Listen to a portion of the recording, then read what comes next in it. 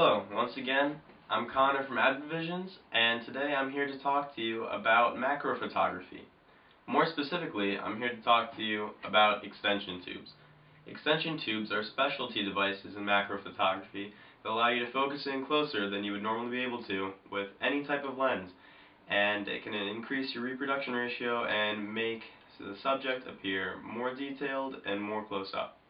Extension tubes are essentially just a way of moving the lens and the refracting glass pieces that allow the lens to focus further away from your processor, which thus makes you move closer to the subject. The extension tubes themselves are completely hollow. As you may be able to see, I can stick my finger right through it. There's no glass element inside. However, just because this is somewhat low technology does not mean that there are no complications and that these extension tubes are necessarily cheap. In this video, I'm going to be going over the different types of extension tubes that I own, reviewing them, and hopefully giving you a nice buying guide, and maybe we'll even discuss how to use the extension tubes well, and what to expect if you should buy them or if you already are using them. Hope this video is helpful. Here we go. Extension tubes allow you to focus closer by moving the refracting glass of your lens farther away from your processor, which allows for the camera to take in-focus pictures closer to the subject matter.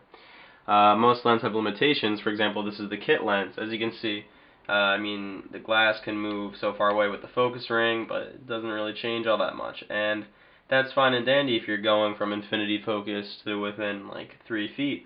But beyond that, you're not going to really be able to do that much. So you can get around this with the use of extension tubes. So let's start off.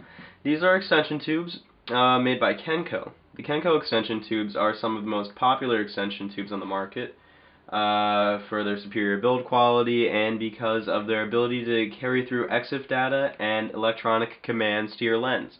These are higher end products. These cost me about $125 and you can expect the same if not more. Uh, but it might be worth that price.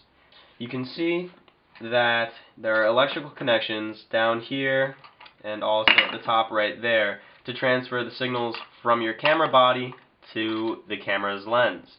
This means that you'll be able to transfer over autofocus capabilities if your camera would normally autofocus with the lens, and EXIF data, which means that you will be able to control the aperture of your lens from the camera body by using these tubes. You don't need to have a manual aperture shift ring, and the aperture will show up in the EXIF info, which will de describe how your picture was taken.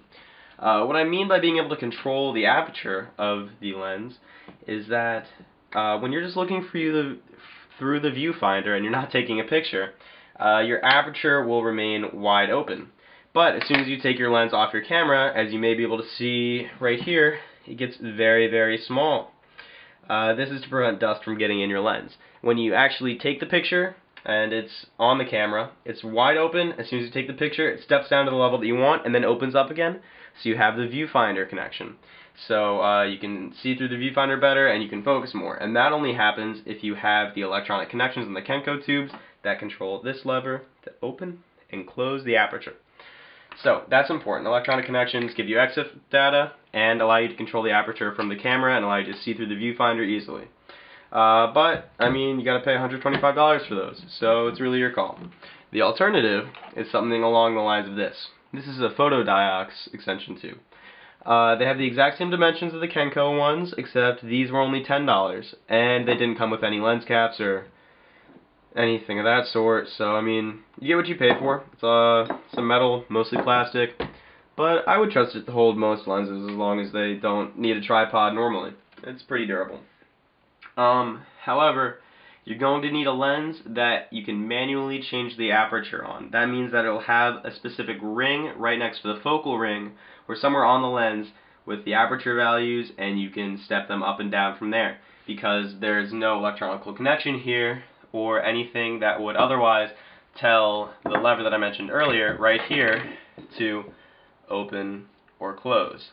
This is an especially problem on Nikon because whenever a lens is off the camera, it stops down to its maximum f value. In this case, on my macro lens, that's f57, which means I basically am not able to take pictures because no light gets into the camera.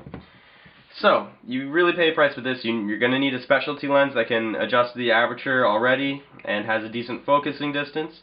but it's $10, so it's really your call. Either way, the optics of the camera are not affected, seeing as there are no glass pieces, and it just increases the focus distance. That's on any lens. So I could use my dedicated macro lens, or I could see how my telephoto goes, or the kit lens. It's anything you want. But remember, as you move your lens further away from your processor, and the opening of your lens further away, uh, it's harder and harder for light to get into your camera. And that means that you're going to need more light sources, You could use a flash ring or something, but it's you need serious, serious amounts of light at the end of it. Also, the the closer in you focus to your subject, the shallower the depth of field gets. So you might need to be using apertures of 11 or 16 uh, or very, very high apertures. So you're going to want to uh, be able to get a lot of light in your lens, and that is very tough, especially when you cannot control the aperture from your lens.